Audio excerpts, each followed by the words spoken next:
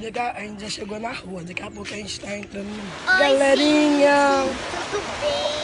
Já Agora já tá né, na um praia. banho. Olha, a gente fez tatuagem, olha. Olha a minha de borboleta. E a minha, esqueci o nome. o nome estranho aí que eu nunca vi É. falar. Então nós vamos mostrar a praia pra vocês, tá cheia. Gente, gente, tem muita gente na praia. E, e a praia começou a ficar funda, já tá ficando tarde, né? E a praia já tá ficando funda. Nós acabamos de almoçar, daqui a pouco a gente entra. Tchau. Bora colocar só os pés. Não.